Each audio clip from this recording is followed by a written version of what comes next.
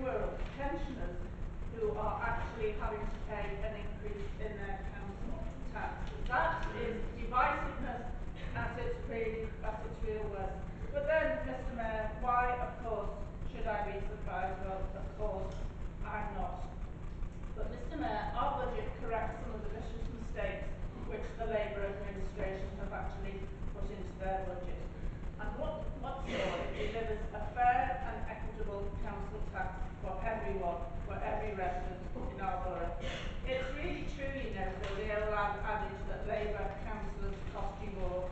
In fact, if you actually live in Wirral, the cost of living by some of the locally um, determined measures that you've actually put into your budgets over the last couple of years, an average family in Wirral actually has a burden of almost £200 a year extra placed upon them thanks to your local measures.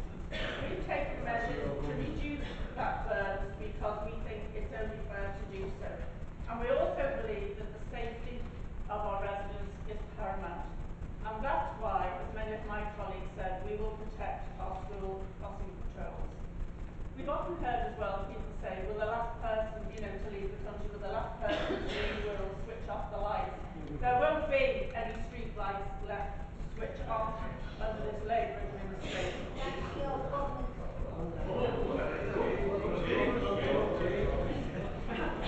Mr Mayor, we'll also ensure that the dog fouling enforcement team, team is increased. Councillor Kenny, you talk about that you're going to be proud of the prosecutions for fly tipping.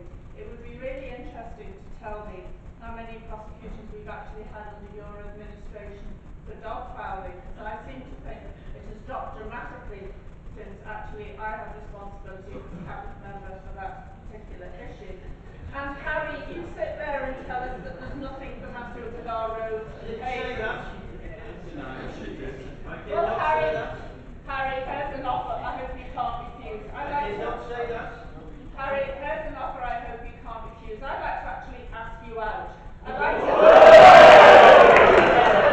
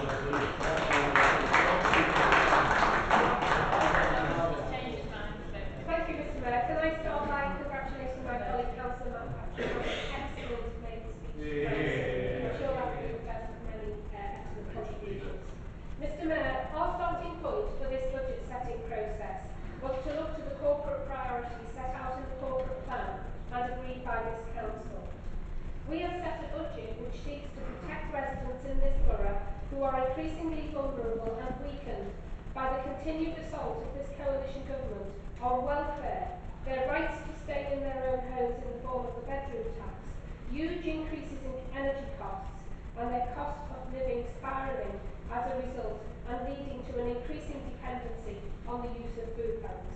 It's a disgrace. Mr Mayor, we will respond to this cost of living crisis by investing further funding for advice and information services to those on benefits and by maintaining help to the poorest members of the community to ensure they do not have to pay an increased proportion of their, of their council tax. The vast majority of our older residents in households of age 70 and over will also continue to receive a discount on their council tax, equivalent to 5%, which coupled with our freezing of council tax will help to mitigate their cost of living. We will address inequality and protect the vulnerable by investing 7.6 million in services for the elderly, young people with learning disabilities, adopters and special guardians. And a million pounds will be spent over the next two years on enhancing early intervention and preventative service, services. To help the unemployed get into work, we will continue to invest in the reach out schemes and our drive to attract growth and investment to the borough will benefit from upgrading of private rented properties through the selected life licensing scheme, giving residents a better deal on decent home standards in the private rented sector. Investing in a house building programme is essential to improving the quality of life for local people and helping the most disadvantaged who had any hope of a new home dashed with the government withdrawal of the HMRI Housing Market Renewal Initiative programme, which have been so successful in helping to transform the landscape of the poorest parts of our borough. We will invest in our infrastructure and facilities by upgrading leisure facilities in Birkenhead Seacombe and in West Kirby. We have a set of proposals from the Conservatives and Liberal Democrats before us for budget savings, which do nothing whatsoever to deal with the fundament, fundamental situation, which is their government slashing of funding to this council. The only reason that the council tax freeze grant has been accepted is because the government have listened to the lobby by many Tory councils too regarding its inclusion in the base budget for two years and for no other reason. It has been noted that the Conservatives accept that charging for brown bins is acceptable, contrary to all the literature that they published last year, but what they fail to recognise is that this has been a huge success story. We have far exceeded the targets and the income anticipated. The people of Wirral have accepted that a nominal charge in this climate of austerity is acceptable to them too. With car parking charges, they have failed to grasp that a fundamental review of all the charges in this area is about to be launched and the sensible course of action is to await the results of that review. They have failed to acknowledge that the early intervention grant, which was put in place to protect the life chances of our young people, has been reduced by a million pounds a year by their government. But in spite of this, we will invest in this service as we recognise the fundamental importance of this funding. Neither would their proposal on freezing charges in any way prudent. It is a one-off short-term fix, which will leave a hole in the budget next year, and that is the key point, Mr Mayor. Short-term electioneering soundbites are what their proposals are about, not any sense of providing a sustainable budget going forward to secure this council's finances. At the outset, Mr Mayor, I set out those measures which are hurting a shameful legacy for any political party to be associated with. And it would be to their credit if any opposition elected member in this chamber would dare to personally condemn these heinous policies of their government. When we were the party of government, Mr Mayor, the then leadership of this council on many occasions stood up and said we were not apologists for our government. If they pursued policies which were harmful to the people we represent, people of Wirral, then we will challenge them. But not one word have we heard here tonight. Everyone in this chamber should support this budget for its progressive and growth measures, which will mitigate, mitigate the impact of massive cuts, 50% of our budget by 2016, and provide some hope for the future for many people in Wirral. In the narrative to the Tories budget, Mr Mayor, they say it is incumbent on the Council spend money wisely and fairly in a way that is going to improve the lives of all of Wirral residents. I put it to Council that that is exactly what the Labour budget does, and I commend our budget to Council, and I urge all members to vote for it. Thank you.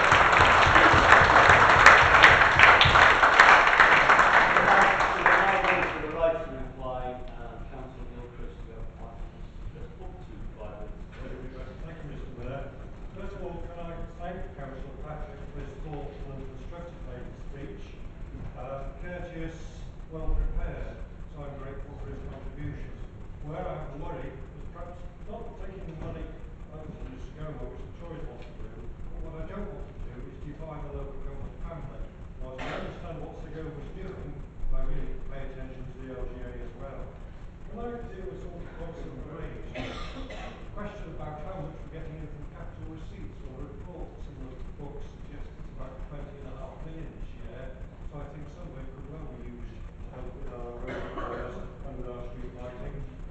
We, like Mrs Thatcher, I'm afraid, we want our money back. The Waste Authority had from the Merseyside Council like 26, 27 million, which about 6 million plus is ours. So we can make good constructive use of it, like rather more back at a greater rate. Councillor Hackett talked about the recovery and uh, often appears in the paper commenting on employment figures and saying the world's bucking the trend, the world's doing better. I don't accept the Tories' proposal about taking away the money from the economic development unit. My worry is, and I'm trying not to be controversial, that perhaps too many of our eggs are in a basket owned by Peel, and we've got to look at all the other things we have to do to help boost our economy. Gone are the days, mind you, when uh, Ed Balls used to sit there doing these strange flatlining messages in Parliament, because things are improving. Next, uh, Tony Smith, thank you for introducing the education budget. Well, we very rarely touched on the premium tonight, and if we look at it, the primary school is going up from £953 per child to 1300 for those who qualify, and it's backdated for years that children free school meals, so perhaps a bit more credit where credit's due to the government, please. Councillor Cox, uh, and I think Councillor Doughty the same thing, the pressure. I'd like Councillor Doughty, the impetus was what Tony said. There is that pressure, and without that pressure, would we have tried to make the savings and the organised things in the way we have? Members refer to the economy, and Councillor Glasman talked about the change. I often wonder what Alistair Darling would have done, which once following the American crisis, we had the European crisis, which set us back as well. I think we often fail to reflect on that and the real impact that's had. While I, I, I do want to touch on housing, because we forget again, apart from I'm looking forward to what George will achieve for us, and we forget that the Homes and Communities Agency is still spending public money to support housing development. And finally, I just want to sum up the key bits that we touched on. By putting some money from the Waste Authority into cleaning, we would have a cleaner borough. By putting money into investing in street lighting and saving energy, we would have a cleaner borough. Lose sometimes sight of the things we're trying to achieve on behalf of our people as we round this chamber. Times are going to be difficult, and I hope times improve. But I will carry on working with other parties to improve the life of those people, and if that means lobbying, then I will do it. Thank you, Mr. Mayor. Councillor Green, you have to five minutes. Again, Mr Mayor, I'll try and uh, not take up the full amount of time. Can I uh, uh, congratulate Councillor Patrick on his contribution? I'm sure Councillor Adrian would have been uh, very impressed with the contribution he made. and think he made uh, half as much of a contribution at a local level in the chamber as his predecessor did. I'm sure we will all welcome those contributions and he was doing a good job. Can I just uh, cover one or two items again that, that seem to be uh, coming out of the debate? The first thing that concerned me somewhat is actually the Labour Party seems to resent the fact that recruitment's underway. They really do seem to resent the fact that more jobs are being created, that investment is coming through, and that growth is returning. And I do hope that they're not regretting that because they think somehow that makes uh, their election, gives them uh, some sort of electoral disadvantage. Surely, surely we can all welcome the fact that the economy is growing. I, I would also like to uh, pick up on Stuart's point about how George is going to make uh, 100 new homes for 1.5 million pounds. Uh, I think he did try and give an explanation, but I don't think it really registered with the rest of his group by the nature of the response he got.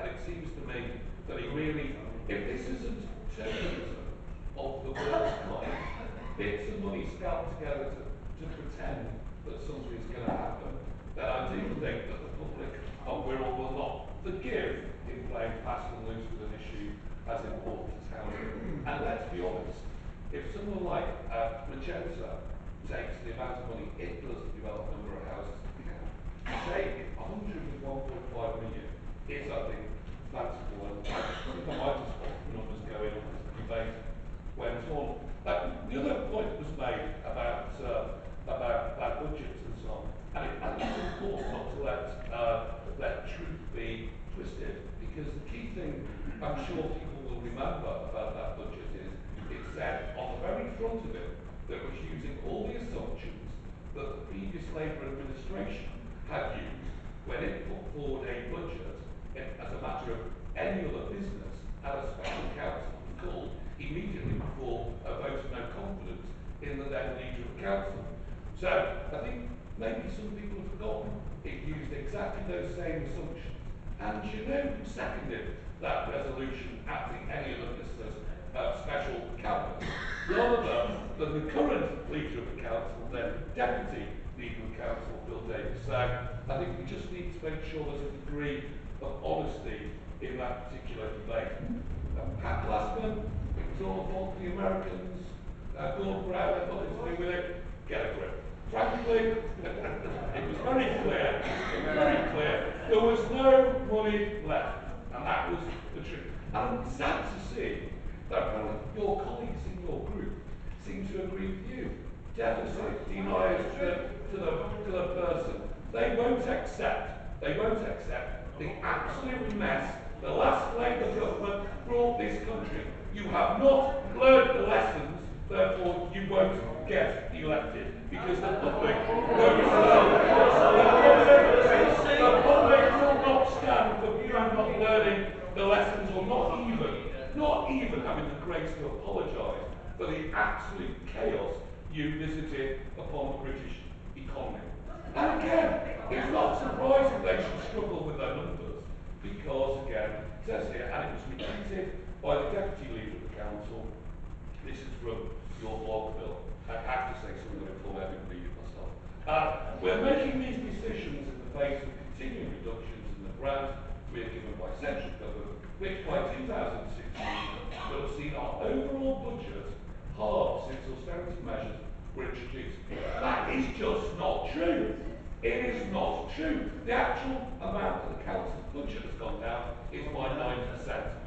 We've had those figures delivered to us by finance department to say that the budget has been halved is nonsense. Absolute, abject nonsense.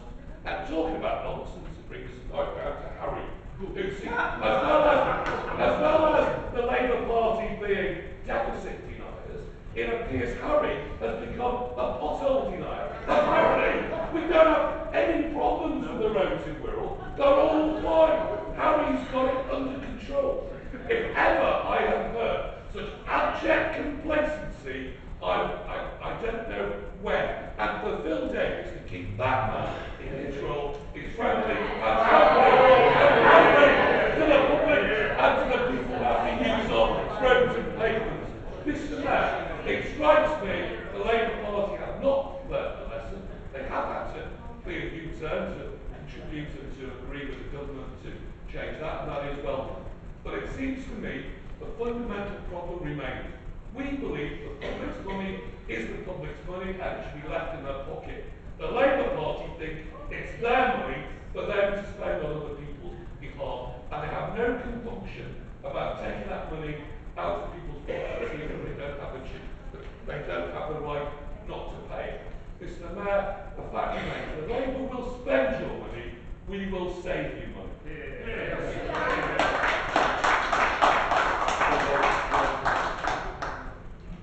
Thank you, uh, Mr. Mayor. Can I, uh, can I start my right reply by um, uh, congratulating Matthew Patrick on an speech, both uh, content and the delivery, Matthew. I think it was, it first and many congratulations. I'm sure it's the, the first of many excellent speeches in this chamber. Mr. Mayor, um, it's difficult to know where to start, but can I start with um, the the Dems really? Um, because what never ceases to amaze me that, you know, they come to this council chamber, um, and it's as if their party is not part of this government.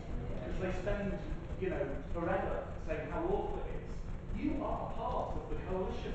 And Stuart Kelly has spent the last year going on the radio in the paper. Uh, I, I don't know actually if he's, if he's the secret leader of the Lib Dems. Uh, far more than, than Stuart. Maybe, maybe, maybe you, you've not told us something, Stuart, but you know, Stuart continues to go to go to press, slagging off various um, cuts, and uh, you know, never once do I hear an alternative from him. He just said, no, no.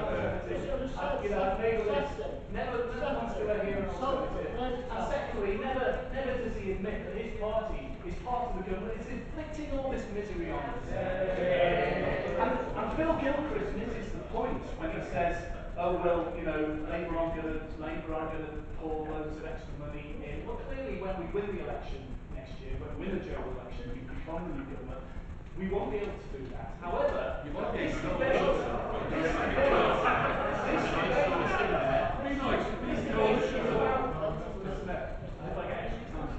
Barry, horrendous Barry.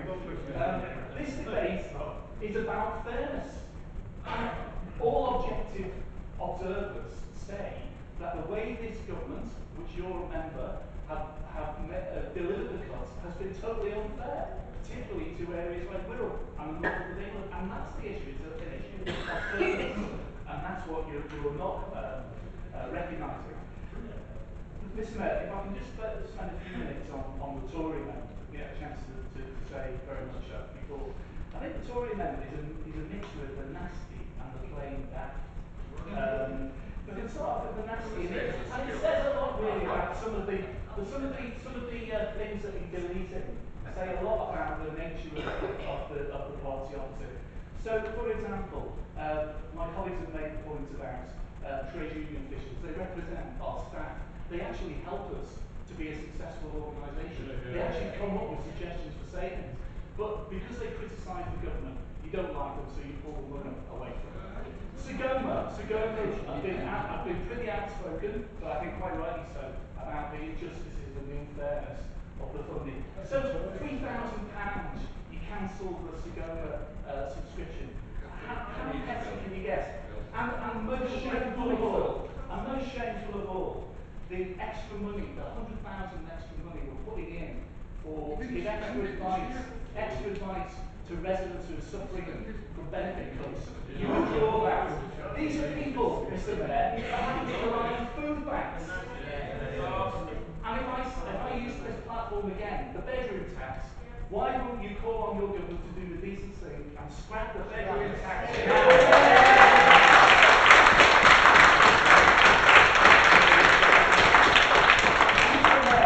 The amendment, amendments also, that, so the, the cut for the two hundred thousand economic development units, yes, that's a bad thing because it stops us bringing more jobs into there. It also denies us a revenue because under the new rules for business rates, we keep the rates from new businesses. So it's madness to, to cut that opportunity from us. The press and marketing, you're cutting the marketing team. In the very year we got the Open back to Wales and we got the International Business Festival. How, how, stupid is that? And, and then um, the council, the, the most stupid, the council loans. Um, this, this is something that most sensible councils do day in, day out. They use the money that they're not using at any one particular time to generate additional money. So Tories are saying we should cease this practice. 35 million last year brought 482,000 additional income into the Wirral. That's a good thing, but they want to scrap it.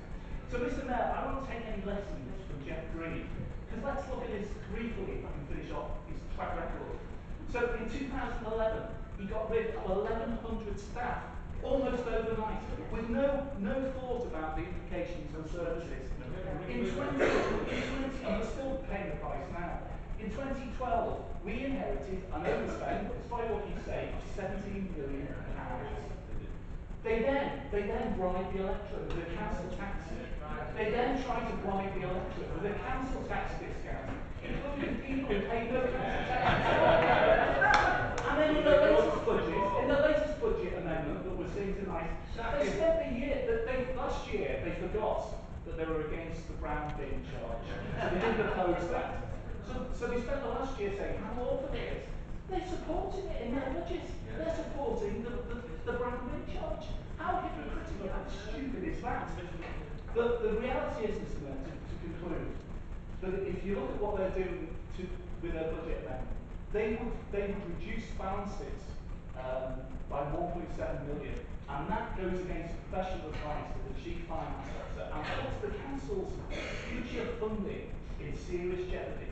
And many of their, many of their uh, little hobby horses, their one-offs, they're short term. There's only enough funding in the budget for next year. They come to about 3.3 million. So if the Tory amendment was agreed tonight, we wouldn't have to make 44 million cuts in the future. We'd have to make 47 million pounds. So it's a scorched earth policy. It shows that they don't really think they'll be in power next year. Because why would any staying person move this tonight?